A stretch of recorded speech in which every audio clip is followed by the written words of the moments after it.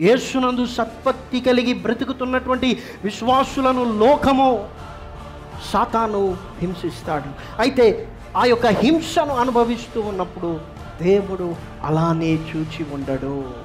నీవు ప్రార్థన చేసినప్పుడు దేవుడు ఆ ప్రార్థనలు విని ఆలకించి నీ జీవితంలో అద్భుతాన్ని చేస్తాడో లేదో నేను హండ్రెడ్ పర్సెంట్ గ్యారంటీ ఇవ్వలేను. కానీ నీ ఒకవేళ క్రీస్తు కొరకు బ్రతుకుతూ ఉన్నప్పుడు హింసించబడుతూ ఉంటే హండ్రెడ్ పర్సెంట్ దేవుడు నీ పక్షంగా యుద్ధం చేస్తాడు. చప్పట్లు కొట్టి దేవుని నామాన్ని గనపరచండి.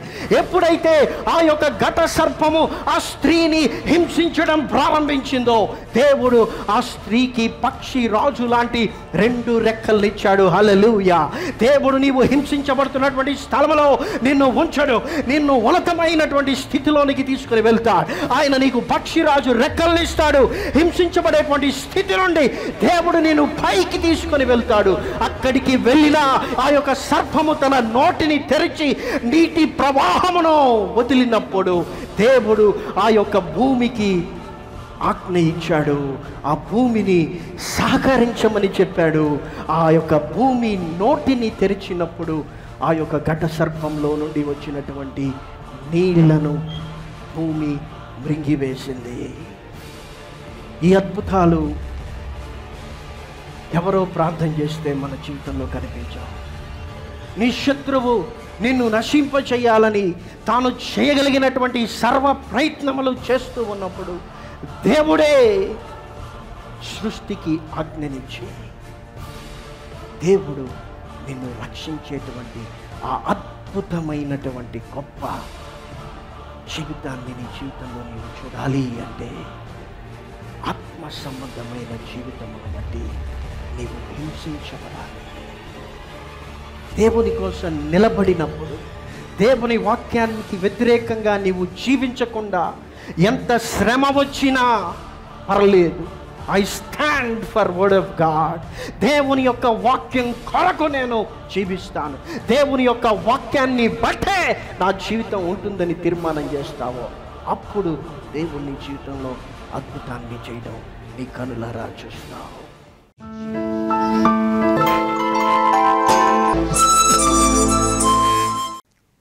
ఈ యొక్క అధ్యాయంలో ఒక స్త్రీని గురించి రాయబడి ఉన్నది. ఒక శిశువును గురించి రాయబడి ఉన్నది. ఘట సర్పమును గురించి రాయబడి ఉన్నది.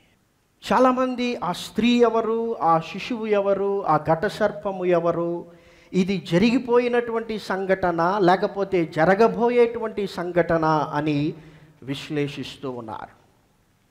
అయితే మనము ఈ దినమందు దీన్ని ఏ కోణంలో ధ్యానించునై ఉన్నామంటే ఈ అధ్యాయమును మనము ధ్యానిస్తూ ఉండగా యేసునందు విశ్వాసం ఉంచినటువంటి మనము యేసు ప్రభువు బిడ్డలమైనటువంటి మనము వేసుకోవలసినటువంటి పన్నెండు ప్రశ్నలు.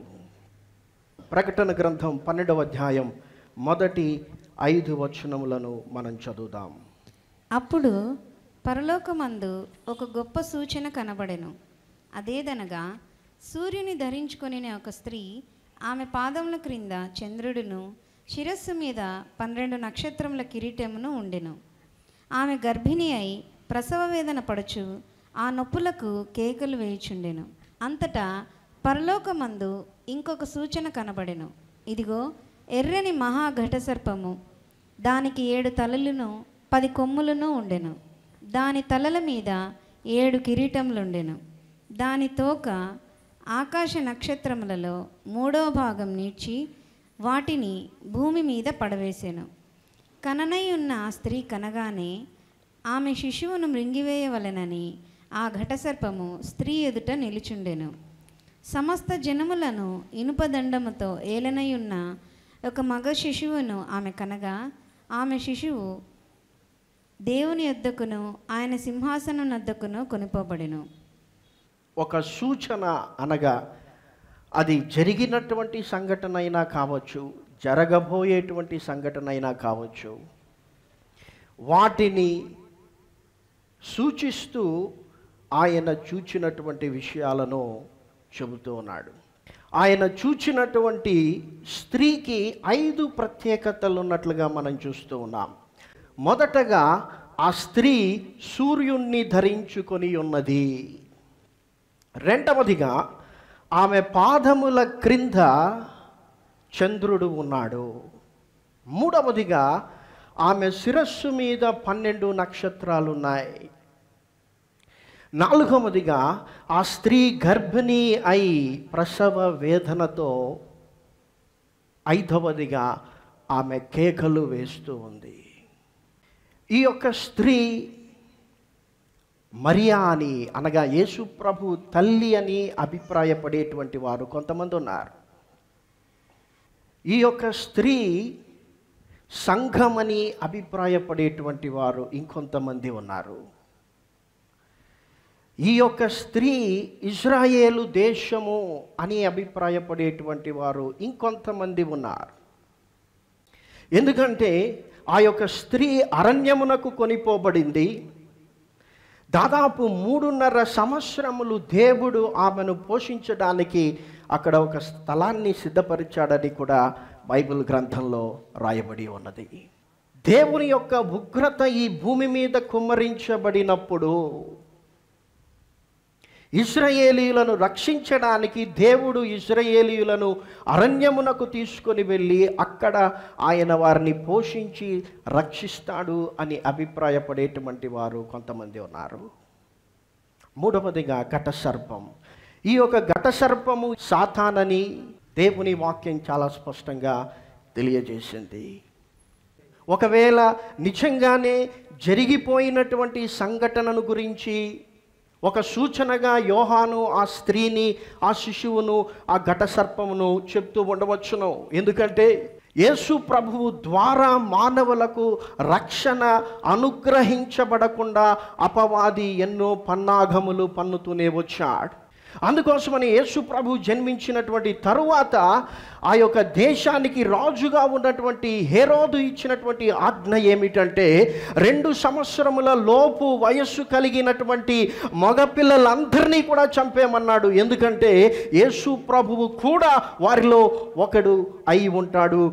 యేసు ప్రభువు శిలువ మరణము పొందుటకు ముందే అనేక సందర్భాలలో యూదులు యేసు ప్రభువుని చంపివేయాలని ప్రయత్నం చేశారు. ఒక సందర్భంలో యూదులు యేసు ప్రభు మీద రాళ్ళు రువ్వారు. ఇంకొక సందర్భంలో కొండ మీదికి తీసుకొని వెళ్ళి యేసు ప్రభువుని త్రోసివేయాలని వారు ప్రయత్నం చేశారు. అపవాది యేసు ప్రభువుని దేవాలయ శిఖరము మీదకి తీసుకుని వెళ్ళింది. యేసు ప్రభువు దుమికి చనిపోయేటట్లు చేయడానికి ప్రయత్నం చేసింది. యేసు ప్రభువు పునరుద్ధానుడు కాకుండానట్లుగా యేసు ప్రభువు సమాధిలో పెట్టబడినటువంటి తరువాత ఆ సమాధికి ముద్రలు వేశారు. ఎందుకంటే పునరుద్ధానుడైనటువంటి యేసు బయటికి రాకుండా యేసు ద్వారా రక్షణ రాకుండా శిలువలో క్రీస్తు రక్తము చిందించబడకుండా యేసు పునరుద్ధానుడు కాకుండా యేసు తిరిగి పరలోకములోనికి ఆరోహణము కాకుండానట్లుగా అపవాది అనేకమైనటువంటి పన్నాగములు పన్ని ఉన్నాడు. కనుక ఆ శిశువు యేసు ప్రభువు.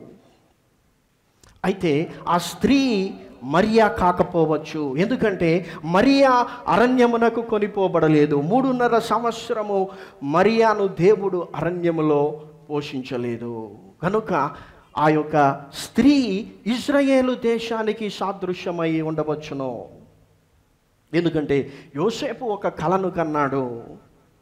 సూర్య చంద్ర నక్షత్రములు ఆయనకు సాష్టాంగపడినట్లుగా. కనుక ఇజ్రాయేలు దేశము ఆ యొక్క స్త్రీకి సాదృశ్యంగా ఉన్నదని భావిస్తూ ఉన్నారు. అయితే ఏదేమైనప్పటికీ అది ఒకవేళ క్రీస్తును గురించి జరిగినటువంటి సంఘటనను గురించి యోహాను రాసి ఉండవచ్చు లేకపోతే భవిష్యత్తులో ఒక స్త్రీ రావచ్చు ఆ స్త్రీ శిశువుకు జన్మనివ్వచ్చు ఆ శిశువు కూడా పరలోకంలోనికి కొనిపోబడవచ్చు ఏదైనా జరగవచ్చు. పలాందే వాస్తవమని తేల్చి చెప్పడానికి నాకు బైబిల్లో ఏ ఆధారాలు లేవు.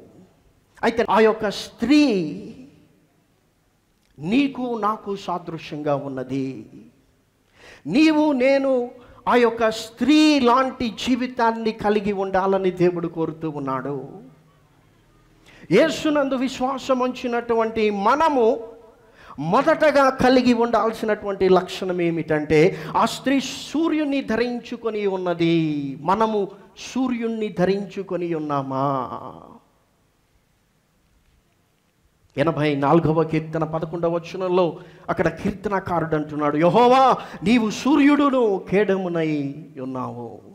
మన దేవుడు సూర్యుడై ఉన్నాడు. యేసునందు విశ్వాసం ఉంచినటువంటి మనము యేసును ధరించుకొని ఉన్నామా? మనలను లోకము చూచినప్పుడు లోకమునకు క్రీస్తు మనలో కనిపిస్తూ ఉన్నాడా? ఆ సూర్యుని యొక్క ప్రకాశము క్రీస్తు యొక్క మహిమ ఈ లోకానికి మనలో కనిపిస్తూ ఉన్నదా లేదా అన్నటువంటిది మొదటి ప్రశ్న. రెండవదిగా ఆ యొక్క స్త్రీ పాదముల క్రింద చంద్రుడు ఉన్నాడు. చంద్రుడు తనకు తానుగా కాంతిని ఇవ్వడు. రెండవ ప్రశ్న మనం వేసుకోవలసినటువంటిది ఏమిటంటే నీలో నీ మహిమ కనిపిస్తూ ఉందా? లేకపోతే నీలో క్రీస్తు మహిమ కనిపిస్తూ ఉందా? యేసునందు విశ్వాసం ఉంచినటువంటి మన జీవితాలలో ఇక మన భక్తి మన ప్రార్థన మన ఉపవాసము మన శక్తి అన్నటువంటివి కనిపించకూడదు. హలలుయా చాలా సంఘాలు చాలా సేవకులు చాలామంది విశ్వాసులు భ్రమపడేటువంటి విషయం ఏంటంటే ఆ సంఘానికి వెళ్ళాను కాబట్టి దేవుడు అద్భుతం చేశాడు.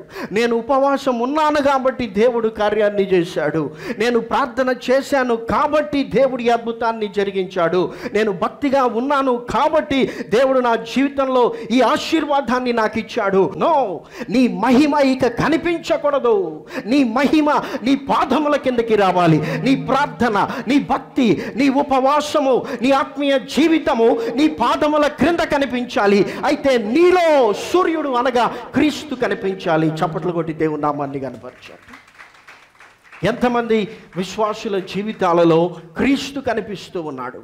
ఎంతమంది విశ్వాసులు చెప్పగలరు? ఇది నా ప్రార్థన కాదు ఇది నా భక్తి కాదు ఇది నా ఉపవాసం కాదు. నాకు దేవుడిచ్చినటువంటి ఆశీర్వాదాలకు కారణము కేవలము దేవుని కృపని ఎంతమంది చెప్పగలరు? నీలో క్రీస్తు మహిమ కనిపించాలి. నీలో క్రీస్తు కనిపించాలి. నీ భక్తి నీ ప్రార్థన నీ ఉపవాసం అన్ని నీ పాదాల కిందికి వెళ్ళిపోవాలి.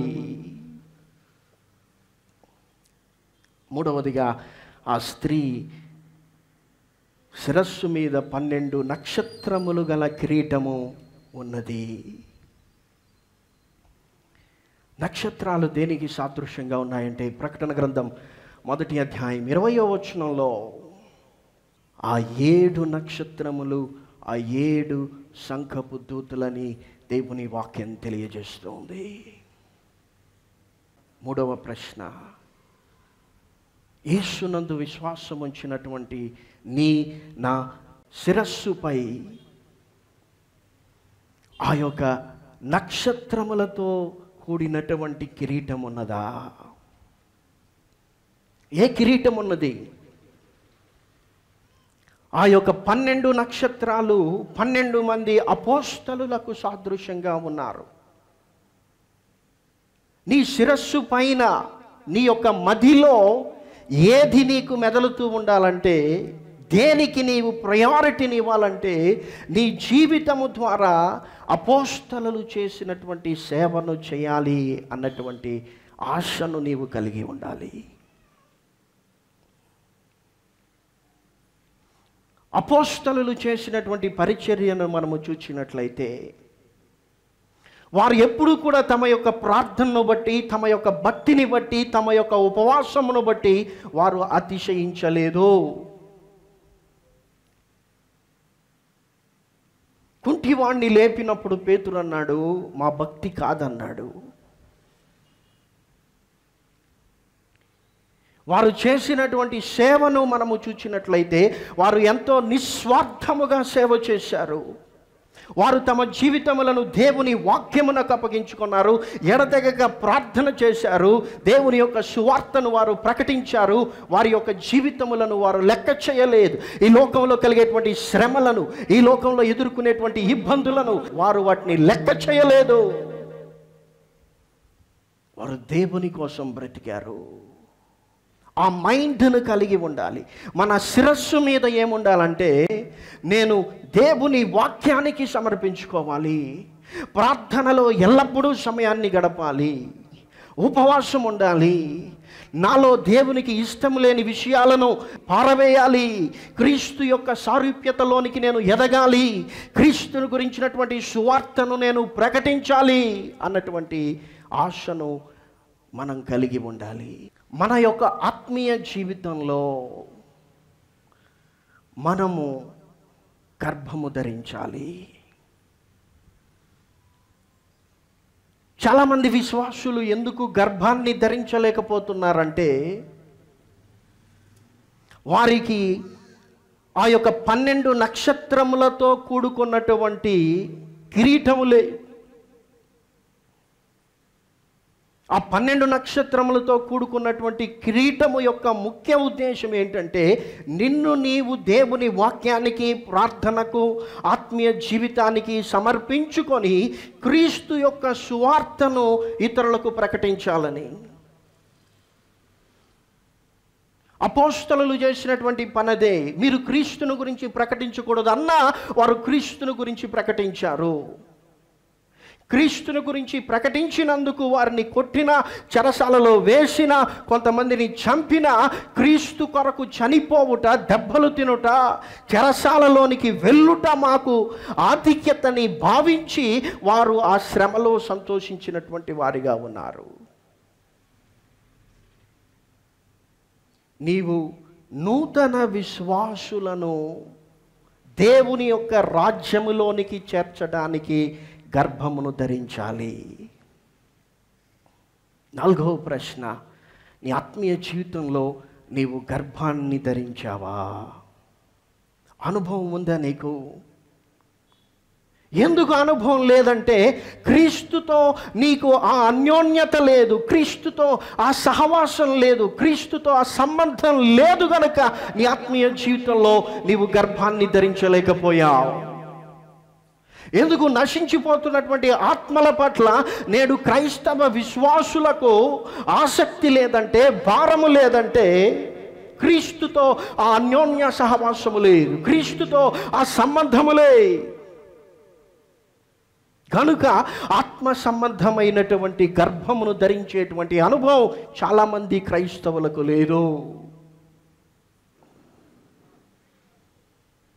క్రీస్తును ఎరిగినటువంటి నీవు యేసును గురించి ప్రకటించాలి. నా ద్వారా దేవుని యొక్క రాజ్యంలోనికి ఒక ఆత్మనైనా తీసుకొని రావాలి అన్నటువంటి దప్పిక అన్నటువంటి ఆకలి అన్నటువంటి భారం నీలో కనిపించాలి.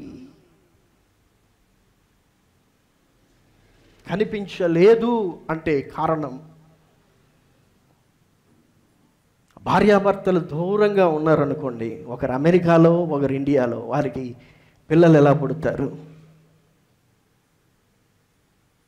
మన ఆత్మీయ జీవితంలో కూడా క్రీస్తుతో అట్టి దగ్గరి సంబంధాన్ని మనం కలిగి ఉండాలి.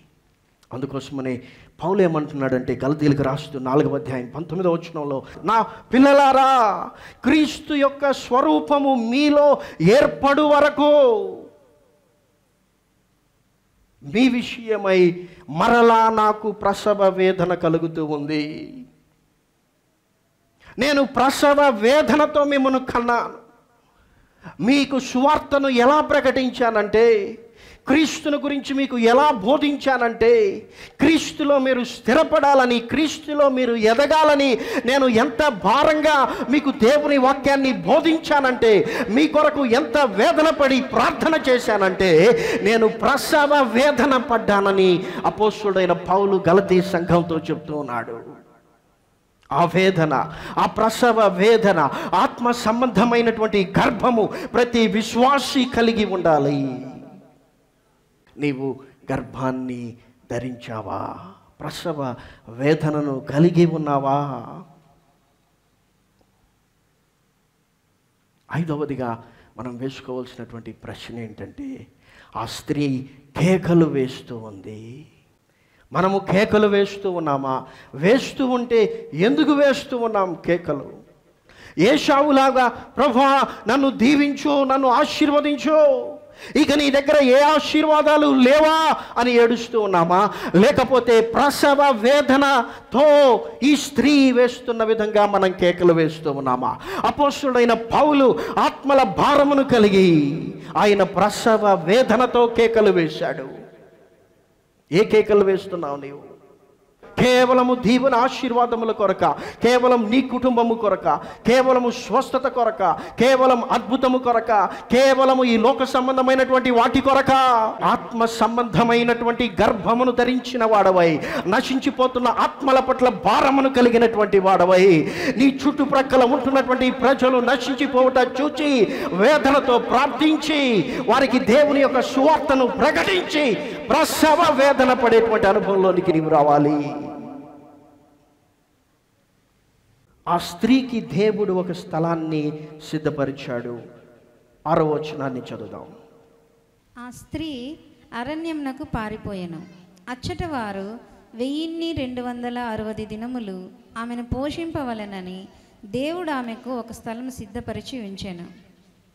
ఆరవ ప్రశ్న ఏంటంటే దేవుడు మన కొరకు ఒక స్థలాన్ని సిద్ధపరిచి ఉన్నాడని నీవు ఎరిగి ఉన్నావా? ఆ యొక్క స్త్రీ ఎంత మాత్రము కూడా ఆ ఘట సర్పముతో రాజీ పడలేదు.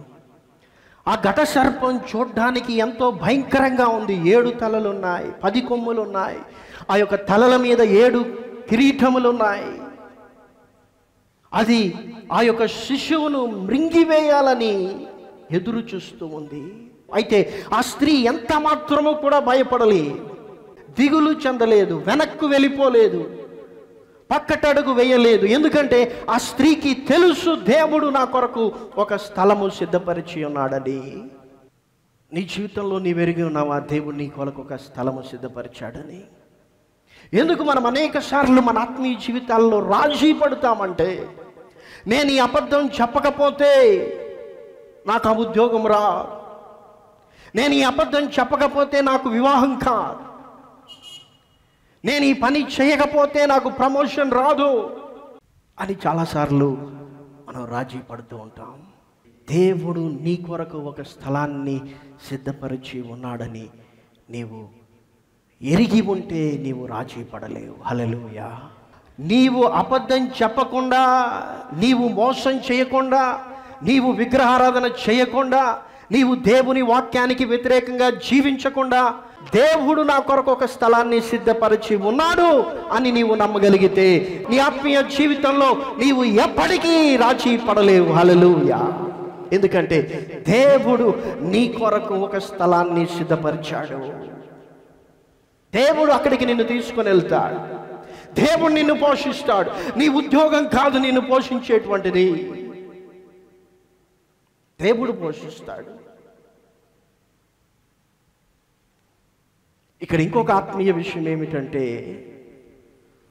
ఎప్పుడైతే నీవు నశించిపోతున్నటువంటి ఆత్మల పట్ల భారాన్ని కలిగి ఉంటావో అప్పుడు దేవుడు నీ సంతానాన్ని ఆయన చూసుకుంటాడు. చప్పట్లు కొట్టి దేవుడు నామాన్ని కనపరచు ఈ లోకంలో ప్రయాసపడేదంతా దేని కొరకంటే ప్రతి తల్లి ప్రతి తండ్రి నా కూతురు బాగుండాలి నా అల్లుడు బాగుండాలి నా కొడుకు బాగుండాలి నా కోడలు బాగుండాలి నా మనవుళ్ళు బాగుండాలనే వారు లోకంతో రాజీ పడుతూ పోతారు. ఎప్పుడైతే ఆ స్త్రీ కనిందో ఆ శిశువును దేవుడు అపవాది నోట పడకుండా ఆయన పరలోకానికి తీసుకుని వెళ్ళాడు. హలలుయా నీ బిడ్డల జీవితం పట్ల కూడా దేవుని యొక్క సాధారణమైనటువంటి హస్తము దేవుని యొక్క అద్భుతమైనటువంటి కాపుదల ఉండాలంటే నీవు సువార్త పరిచర్య కొరకు ప్రయాసపడు. దేవుడు నీ సంతానాన్ని దీవించి ఆశీర్వదిస్తాడు. ఏడు ఎనిమిది తొమ్మిది వచనములను చదువుకుందాం. అంతటా పరలోకమందు యుద్ధము జరిగెను. మిఖాయిలును అతని దూతలను ఆ ఘటసర్పంతో యుద్ధం చేయవలనని ఉండగా ఆ ఘటసర్పమును దాని దూతలను యుద్ధం చేసిరి కానీ గెలవలేకపోయిరి. కనుక పరలోకమందు వారికి ఇక స్థలం లేకపోయాను. కాగా సర్వలోకమును మోసపుచ్చుచు అపవాది అనియు సాతాననియు పేరుగల ఆదిసర్పమైన ఆ మహా ఘటసర్పము పడద్రోయబడెను. అది భూమి మీద పడద్రోయబడెను. దాని దూతలు దానితో కూడా పడద్రోయబడిరి. పరలోకంలో ఒక యుద్ధం జరిగింది. ఇది కూడా జరిగిపోయిందా? జరుగుతుందా? అని మనం ఏం పెద్దగా ఆలోచించాల్సినటువంటి పని లేదు. జరిగిపోయింది అనుకునే వాళ్ళు జరిగిపోయింది అనుకోండి. జరగబోతుంది అనుకునే వాళ్ళు జరగబోతుంది అనుకోండి అయితే నా ప్రశ్న ఏంటంటే ఏడవదిగా నీవు యుద్ధంలో గెలుస్తూ ఉన్నావా లేదా? అది జరిగిపోయిండేదైనా జరగబోయేదైనా ఆ యొక్క ఘట సర్పము గెలవలేకపోయింది. హలలుయ అది కన్క్లూజన్ మనకు. నీవు దేవుని కోసం నీవు ఒక తీర్మానం చేయాలనుకున్న ప్రతిసారి ఒక యుద్ధ వాతావరణం నీ యొక్క అంతరంగంలో ఏర్పడుతుంది. నీ ఆత్మకు నీ శరీరము విరోధముగా యుద్ధం చేస్తూ ఉంటుంది. ఆత్మ సంబంధమైన విషయములకు ఎప్పుడూ కూడా ఈ లోక సంబంధమైనటువంటి విషయాలు వ్యతిరేకంగా పోరాటం చేస్తూ ఉంటాయి. నీవు గెలవగలుగుతూ ఉన్నావా? లేదా? ఒకవేళ నీవు ఓడిపోతూ ఉంటే కారణం ఏంటో నీవు తెలుసుకోవాలి. నీ ఆత్మీయ జీవితంలో నీవు యుద్ధంలో ఓడిపోయినటువంటి ప్రతిసారి దేవుడు నిన్ను ఉంచినటువంటి స్థితి నుండి నీవు పడద్రోయబడుతున్నావని నీవు గుర్తించాలి. ఈ యొక్క అపవాది గత సర్పము సాతాను అతనితో ఉంటున్నటువంటి దూతలకు దేవుడిచ్చినటువంటి స్థితి ఏమిటంటే వారు పరలోకంలో దేవునితో కూడా ఉండేటువంటి ఉన్నతమైనటువంటి స్థితి. అయితే ఎప్పుడైతే యుద్ధంలో వారు ఓడిపోయారో అక్కడ దేవుని వాక్యం తెలియజేస్తోంది. దేవుడు వారిని పడద్రోశాడు. దేవుడు నిన్ను హెచ్చించాడు. దేవుడు నిన్ను దీవించాడు. దేవుడు నిన్ను ఒక ఉన్నతమైనటువంటి స్థానంలో పెట్టాడు. అయితే నీ ఆత్మీయ జీవితంలో నీవు రాజీపడి దేవుని వాక్యానికి వ్యతిరేకంగా చేస్తున్నటువంటి ప్రతి తీర్మానము వెనుక నీవు క్రిందికి పడిపోతున్నావని గుర్తించాలి. పడద్రోయబడుతున్నావు. దేవుడిచ్చినటువంటి స్థితి నుండి స్థాయి నుండి దీవెన నుండి ఆశీర్వాదము నుండి పడద్రోయబడుతున్నావు. అది నీకు కనిపించడం లేదు. నీ యొక్క యుద్ధంలో నీవు గెలవాలంటే ప్రకటన గ్రంథం పదిహేడవ అధ్యాయం పద్నాలుగవ వచనములో అక్కడ మరొక ఎర్రని మృగము ఆ యొక్క మృగానికి ఏడు తలలు పది కొమ్మలు ఆ యొక్క మృగము మీద ఒక స్త్రీ కూర్చొని ఉన్నది. ఆ స్త్రీకి గొర్రెపిల్లకు యుద్ధం జరిగింది. అయితే అక్కడ దేవుని వాక్యం తెలియజేస్తుంది. ఆ యుద్ధంలో దేవుడు దేవునితో ఉన్నటువంటి వారు గెలిచారు. కారణం ఏంటంటే నమ్మకమైనటువంటి వారైనందున వారు ఆ రాజులను జయించగలిగారు. ఆ మృగాన్ని జయించగలిగారు. దేవుడు పిలిచాడు. దేవుణ్ణి ఏర్పరచుకున్నాడు. నీవు దేవునికి నమ్మకంగా జీవిస్తున్నావా? దేవునికి నమ్మకంగా జీవించకపోతే అపవాదితో జరిగేటువంటి ప్రతి యుద్ధంలో నీ ఓడిపోతూ ఉన్నావు. ఓడిపోతూ ఉన్నావు అంటే నీ స్థాయిని నీవు దిగజార్చుకుంటూ ఉన్నావు. పదో వచనాన్ని చదువుదాం. మరియు ఒక గొప్ప స్వరము పరలోకమందు ఈలాగు చెప్పుట వింటిని. రాత్రింబగళ్ళు మన దేవుని ఎదుట మన సహోదరుల మీద నేరం మోపవాడైన అపవాది పడద్రోయబడి ఉన్నాడు. కనుక ఇప్పుడు రక్షణయు శక్తియు రాజ్యమును మన దేవుని వాయను. ఇప్పుడు అధికారము ఆయన క్రీస్తుదాయను ఇప్పుడు ఒక స్వరం గొప్ప స్వరం పరలోకంలో వినబడుతూ ఉంది. ఏమిటంటే రాత్రింపగళ్ళు మన మీద నేరము మోపువాడైనటువంటి అపవాది పడద్రోయబడ్డాడు. ఎందుకంటే యుద్ధంలో గెలవలేకపోయాడు. ఎందుకు యుద్ధంలో గెలవలేకపోయాడంటే దేవుని కొరకు నమ్మకంగా జీవించలేకపోయాడు. పనికిరాని వాటిని ఆశించాడు. దేవుని స్థానాన్ని కోరుకున్నాడు. కాబట్టి పడద్రోయబడ్డాడు. ఇప్పుడు ఏం జరుగుతుందంటే రక్షణయు శక్తియు రాజ్యమును మన దేవుని వాయనో ఇప్పుడు అధికారము క్రీస్తుదాయనో ఎనిమిదవ ప్రశ్న ఏంటంటే అధికారము క్రీస్తుదవుతుందని నీకు తెలుసా? ఓ విశ్వాసి అధికారము క్రీస్తుదవుతుందని నీకు తెలుసా?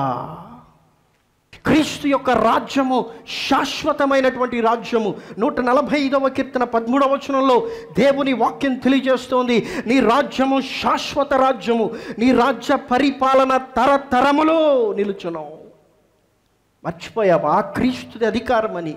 మర్చిపోయావా? క్రీస్తు తన అధికారంతో తిరిగి వస్తాడని. ఆ క్రీస్తుని నీవు ప్రశ్నిస్తావా?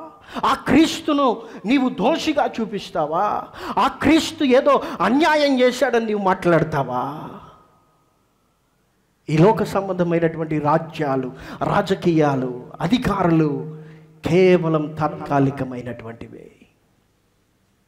ఈ లోకంలో నాకు ఆశ్చర్యాన్ని కలిగించేటువంటి విషయం ఏంటంటే ఒక వ్యక్తి ఒక రాజకీయ పార్టీని నమ్మినప్పుడు ఒక రాజకీయ పార్టీ సిద్ధాంతాన్ని నమ్మినప్పుడు దానికోసం ఎంత ప్రయాసపడతాడంటే అంత ప్రయాసపడతాడు. కేవలం తాత్కాలికమైనటువంటి ఒక పార్టీ కోసం ఒక నాయకుని కోసం. మీరు అంతగా బోల్డ్గా డెసిషన్స్ తీసుకుంటున్నారే. అయితే క్రీస్తు ఒకరోజు వస్తాడు. ఆయనది అధికారం అవుతుందని మీరు ఎరిగి ఉంటే ఎందుకు నేను క్రీస్తు బిడ్డనని లోకంలో దేవునికి సాక్షిగా బ్రతకలేకపోతూ ఉన్నారు? యేసు ప్రభు నా రక్షకుడు అని చెప్పలేని దుస్థితిలో అనేక మంది క్రైస్తవ నేడు సమాజంలో ఉన్నారు. నేను యేసు ప్రభువును నమ్ముకున్నాను. ఆయన నా రక్షకుడు అని చెప్పలేనటువంటి స్థితిలో క్రైస్తవులు ఉన్నారు. ఆయన ఒక రోజు అధికారం అవుతుంది. ఆయన అధికారము శాశ్వత అధికారము. ఆయన రాజ్యము శాశ్వత రాజ్యము. ఆయన ఏలుబడి తరతరములో ఉండేటువంటిది. అయితే ఆ క్రీస్తును గురించి నీవు చెప్పడానికి ఆ క్రీస్తును గురించి నీవు సాక్షిగా బ్రతకడానికి ఎందుకు ఆలోచిస్తూ ఉన్నావు? వెనక్కు వెళ్తూ ఉన్నావు అన్నటువంటిదే నా ప్రశ్న. అందుకే ప్రతి విశ్వాసి ఎనిమిదవదిగా వేసుకోవాల్సినటువంటి ప్రశ్న ఏమిటంటే అధికారము క్రీస్తుదవుతుందని నీకు తెలుసా? తొమ్మిదవ ప్రశ్న ప్రకటన గ్రంథం పన్నెండవ అధ్యాయం పదకొండవ వచనాన్ని చదువుదాం. వారు గొర్రెపిల్ల రక్తమును బట్టి తామిచ్చిన సాక్ష్యమును బట్టి వానిని జయించి ఉన్నారు కానీ మరణం వరకు తమ ప్రాణములను ప్రేమించిన వారు కారు. ఇక్కడ ఆ యుద్ధంలో ఎందుకు మికాయేలు మికాయేలుతో ఉన్నటువంటి వారు గెలిచారు అన్నటువంటి ఒక విషయాన్ని పరిశుద్ధాత్మ దేవుడు తెలియజేస్తూ ఉన్నాడు. ఎందుకు ఆ యొక్క యుద్ధంలో వారు గెలవగలిగినారంటే మూడు కారణాలు చెప్పబడ్డాయి. వారు గొర్రెపిల్ల రక్తములో కడుగబడినటువంటి వారు గొర్రెపిల్ల యొక్క రక్తాన్ని బట్టి రెండవదిగా తామిచ్చిన సాక్ష్యమును బట్టి. మూడవదిగా మరణము వరకు వారు తమ ప్రాణములను ప్రేమించిన వారు కారు. కాబట్టి వారు యుద్ధంలో గెలవగలిగారు. యేసు రక్తంలో ప్రతి విశ్వాసి కడగబడ్డాడు. ఎందుకంటే ప్రభా నా పాపాలు క్షమించు. నన్ను నీ రక్తంలో కడగని ప్రతి విశ్వాసి ప్రార్థన చేసే ఉంటాడు. అయితే రెండవ పార్ట్ మూడవ పార్ట్ చాలా ప్రాముఖ్యమైనటువంటిది. తామిచ్చిన సాక్ష్యమును బట్టి తొమ్మిదవ ప్రశ్న ఏమిటంటే నీవు సాక్షిగా బ్రతుకుతున్నావా? ఎలా బ్రతుకుతున్నావు నీవు? నీవు సాక్షిగా బ్రతుకుతున్నావా? ఎందుకంటే నీవు యేసును గురించి ఇచ్చేటువంటి సాక్ష్యము పైన నీ యొక్క ఆత్మ సంబంధమైన యుద్ధంలో నీకు ఓటమా జయమా అన్నటువంటిది ఆధారపడి ఉంటుంది.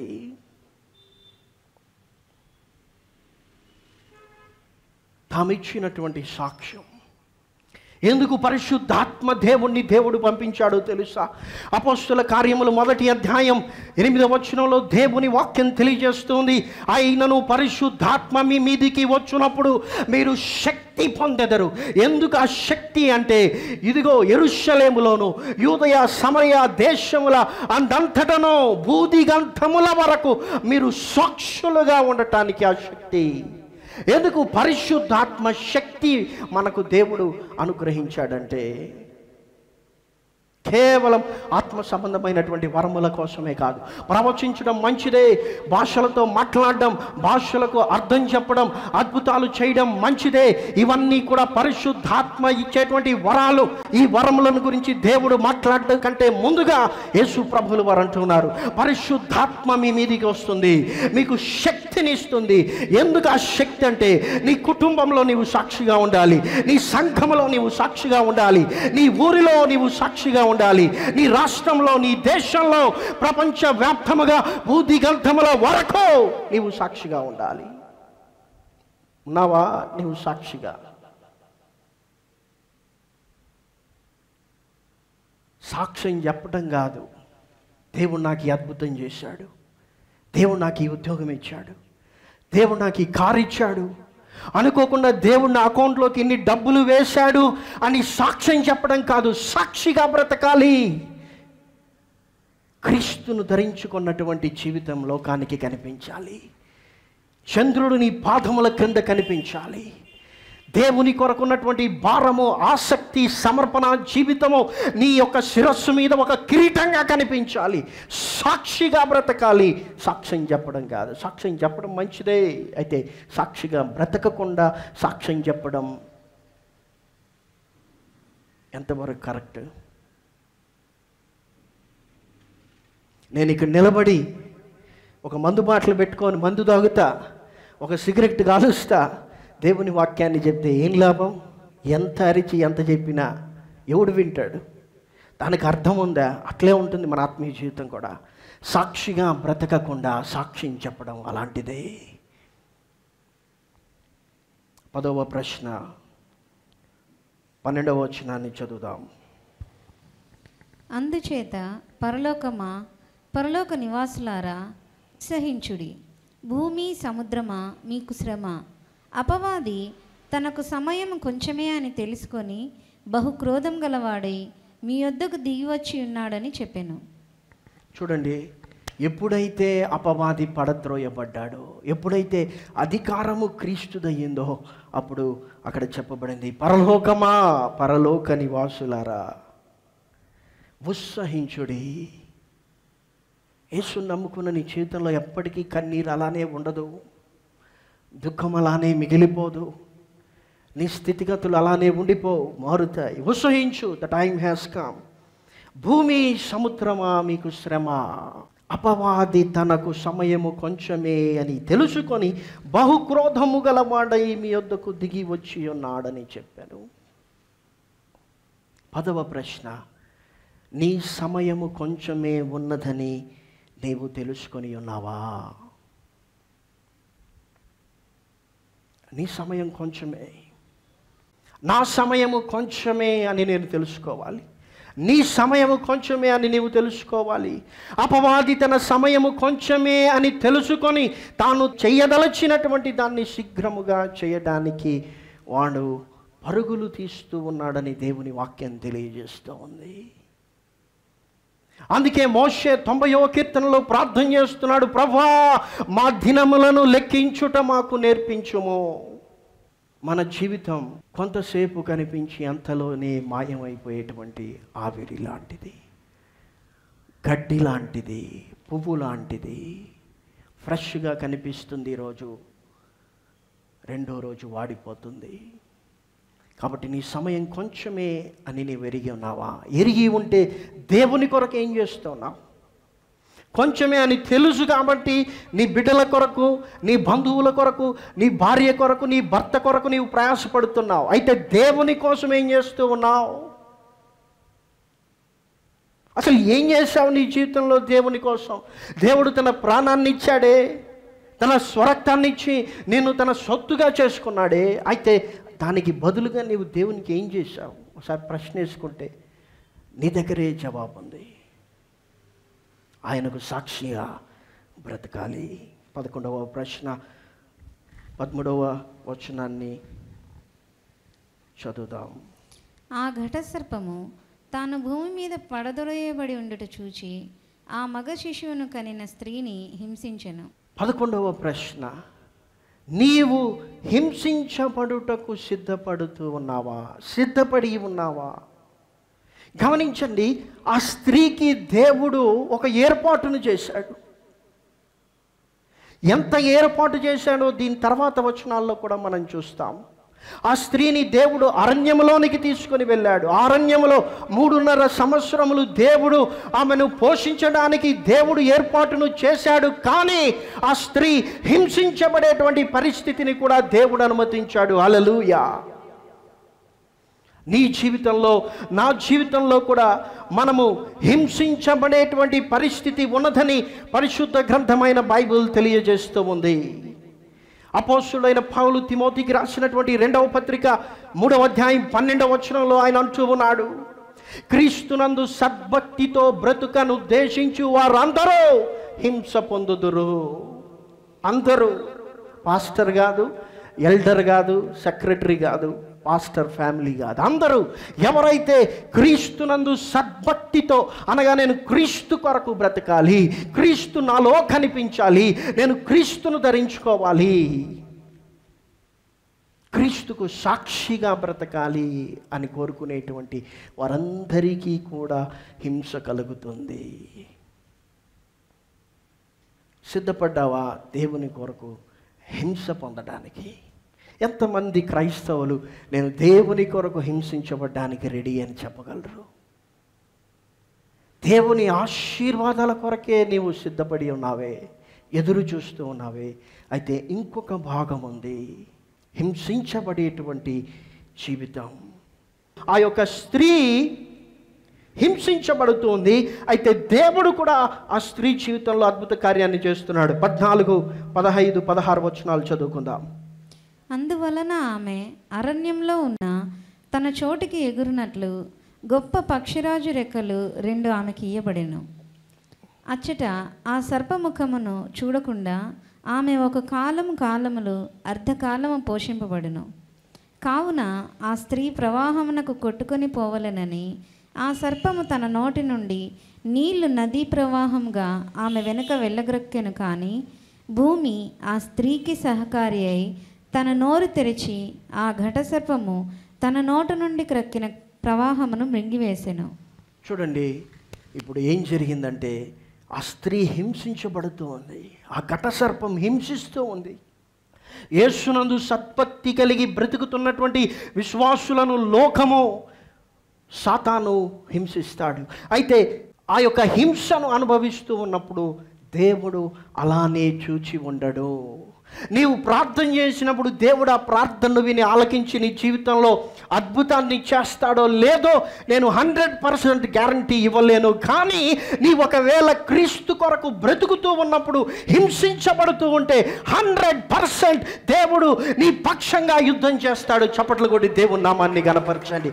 ఎప్పుడైతే ఆ యొక్క ఘట సర్పము ఆ స్త్రీని హింసించడం ప్రారంభించిందో దేవుడు ఆ స్త్రీకి పక్షి రాజు లాంటి రెండు రెక్కల్ని ఇచ్చాడు. హలలుయా దేవుడు నీవు హింసించబడుతున్నటువంటి స్థలంలో నిన్ను ఉంచడు. నిన్ను ఉన్నతమైనటువంటి స్థితిలోనికి తీసుకుని వెళ్తాడు. ఆయన నీకు పక్షిరాజు రెక్కల్ని ఇస్తాడు. హింసించబడేటువంటి స్థితి నుండి దేవుడు నేను పైకి తీసుకొని వెళ్తాడు. అక్కడికి వెళ్ళినా ఆ యొక్క సర్పము తన నోటిని తెరిచి నీటి ప్రవాహమును వదిలినప్పుడు దేవుడు ఆ యొక్క భూమికి ఆజ్ఞ ఇచ్చాడు. ఆ భూమిని సహకరించమని చెప్పాడు.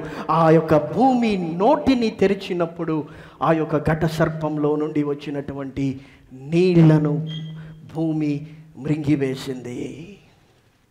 ఈ అద్భుతాలు ఎవరో ప్రార్థన చేస్తే మన జీవితంలో కనిపించావు.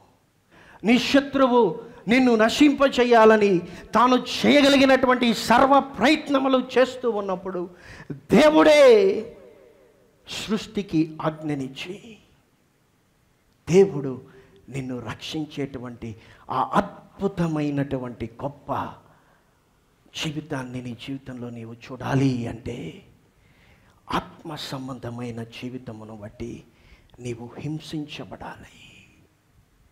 దేవుని కోసం నిలబడినప్పుడు దేవుని వాక్యానికి వ్యతిరేకంగా నీవు జీవించకుండా ఎంత శ్రమ వచ్చినా పర్లేదు.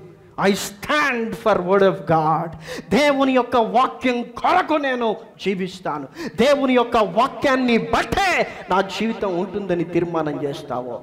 అప్పుడు దేవుని జీవితంలో అద్భుతాన్ని చేయడం నీ కనులారా చూస్తావు. చివరిగా మనం వేసుకోవలసినటువంటి ప్రశ్న పదిహేడవ వచనాన్ని చదువుదాం. అందుచేత ఆ ఘట సర్పము ఆగ్రహం తెచ్చుకొని దేవుని ఆజ్ఞలు గాయకొనుచు యేసును గూర్చి సాక్ష్యమిచ్చుచు ఉన్నవారైన ఆమె సంతానంలో శేషించిన వారితో యుద్ధం చేయుటకై బయలువెడలి సముద్ర తీరమున నిలిచెను. ఇప్పుడు ఆ ఘట సర్పానికి ఇంకా కోపం వచ్చింది ఎందుకు వచ్చింది ఫస్ట్ ఆ శిశువుని చంపేయాలనుకునింది. దేవుడు ఏం చేశాడు? తీసుకొని వెళ్ళిపోయాడు కాపాడాడు. దాని తర్వాత ఆ స్త్రీని చంపాలని ప్రయత్నం చేసింది. దేవుడు ఆమెకు ఒక స్థలాన్ని సిద్ధపరిచాడు. సరే ఆమె వెంట వెళుదామని ప్రయత్నం చేసింది. దేవుడు ఏం చేశాడు? రెక్కలిచ్చాడు ఎగిరి వెళ్ళిపోయింది. ఇలా కాదని చెప్పి నీళ్ళను తన నోటితో వదిలింది. అయితే దేవుడు ఏం చేశాడు? భూమికి ఆజ్ఞనిచ్చి ఆ నీటిని ఆ యొక్క భూమి మృంగేటట్లు చేశాడు. కాబట్టి ఇప్పుడు ఆ యొక్క ఘట సర్పము ఆగ్రహము తెచ్చుకొని ఏం చేస్తుందంటే యుద్ధము చేయడానికి బయలుదేరుతోంది. ఎవరితో యుద్ధం చేస్తుంది? దేవుని ఆజ్ఞలను గాయకుంటూ యేసును గూర్చి సాక్ష్యం ఇచ్చుచు ఆమె సంతానములో శేషించిన వారిని. మూడు క్వాలిఫికేషన్స్. నా ప్రశ్న ఏంటంటే పన్నెండవది నీవు దేవుని ఆజ్ఞలను గైకొంటూ ఉన్నావా? సాతాను ఎంతో శోధిస్తూ ఉన్నాడు. సాతాను ఎంతగానో మమ్మల్ని బలహీనపరుస్తూ ఉన్నాడు. సాతాను మమ్మల్ని కృంగదీస్తూ ఉన్నాడని చాలామంది విశ్వాసులు నూటికి నూటికి డెబ్బై శాతం కంటే ఎక్కువ మంది అనుకుంటూనే ఉంటారు. సాతాను వచ్చి నిన్ను శోధించడానికి సాతాను వచ్చి నిన్ను బలహీనపరచడానికి సాతాను వచ్చి నీతో యుద్ధం చేయడానికి నీ జీవితంలో ఎక్కడ నీవు దేవుని ఆజ్ఞలను గైకొన్నావు? ఎక్కడ క్రీస్తుకు సాక్షిగా నీవు బ్రతికావు? సైతాన్ అందరితో యుద్ధం చెయ్యడు. సైతాను ఘటసర్పము ఎవరితో యుద్ధం చేస్తాడంటే కేవలము దేవుని యొక్క ఆజ్ఞలను గైకొని క్రీస్తుకు సాక్షిగా బ్రతికి ఆమె సంతానములో అనగా దేవుని యొక్క సంతానములో దేవుని సొత్తుగా చేయబడినటువంటి వారి జీవితంలోనే. మరి ఎందుకు బ్రదర్ ఈ శోధన? ఎందుకు బ్రదర్ ఈ బలహీనత అంటే అది సైతాన్ తెచ్చింది కాదు. నీకు నీవు తెచ్చుకున్నది నీతో నీవు యుద్ధం చేస్తున్నావు. అందుకే యేసు ప్రభువులు వారు మార్కు సువార్త మూడవ అధ్యాయంలో ఆయన ఒక ఉపమానాన్ని చెప్పాడు. ఒక ఇల్లు తనకు తాను వేరుపడినట్లయితే ఆ ఇల్లు ఎలా నిలుస్తుంది? ఒక వ్యక్తి తనకు తాను విరోధంగా తీర్మానాలు చేస్తే ఆ వ్యక్తి ఎలా నిలబడతాడు? సాతాను తనకు తానుగా యుద్ధం చేస్తే సాతాను ఆ యుద్ధంలో ఎలా గెలుస్తుంది? ఎందుకు నీ ఆత్మీయ జీవితంలో ఓటం అంటే ఎందుకు నీ ఆత్మీయ జీవితంలో గెలవలేకపోతూ ఉన్నావంటే నీతో నీవు యుద్ధం చేస్తూ ఉన్నావు. ఎందుకు నీతో నీవు యుద్ధం చేసేటువంటి పరిస్థితి అంటే నీవు దేవుని ఆజ్ఞలను గైకొనడం లేదు క్రీస్తుకు సాక్షిగా బ్రతకడం లేదు తన స్వరక్తాన్నిచ్చి సంపాదించినటువంటి సొత్తుగా బ్రతికేటువంటి లక్షణాలు నీ జీవితంలో కనిపించడం లేదు. కాబట్టి పన్నెండవ ప్రశ్న నీవు దేవుని ఆజ్ఞలను గైకొంటూ ఉన్నావా? అంటే నీవు దేవుణ్ణి ప్రేమిస్తూ ఉన్నావా? యేసు ప్రభులు వారు అన్నారు నన్ను ప్రేమించువాడు నా ఆజ్ఞలను గైకొంటాడు. ఈ పన్నెండు ప్రశ్నలు ప్రతి విశ్వాసి వేసుకొని దేవుని వాక్యపు వెలుగులో పరిశుద్ధాత్మ సహాయంతో వారి జీవితాలను సరి చేసుకున్నట్లుగా ప్రభు సహాయం చేయనుగాక ప్రార్థన చేసుకుందాం. పరలోకమందున మా తండ్రి మీ లేఖనములలో మీరు రాయించినటువంటి ప్రతి లేఖన భాగమును బట్టి మిమ్మల్ని స్థుతిస్తూ ఉన్నాము. ఆయన మీరు తిరిగి వస్తారు. అధికారం మీద అవుతుంది ఈ లోకము దాని ఆశ గతించిపోతాయి. అని ఎరిగిన వారమై మీ వాక్యాన్ని గాయకుంటూ మీకు సాక్షిగా బ్రతుకుతూ మిమ్మల్ని ధరించుకొనిన వారమై మా స్వనీతిని భక్తిని మా పాదముల క్రింద పెట్టిన వారమై నశించిపోతున్న ఆత్మల పట్ల భారమును కలిగి మేము ముందుకు వెళ్ళుటకు సహాయం చేయమని. సమస్త స్థుతి ఘనత మహిమ ప్రభావం మీకే చెల్లిస్తూ యేసు క్రీస్తు నామమున ప్రార్థించుచున్నాను తండ్రి. ఆమెన్.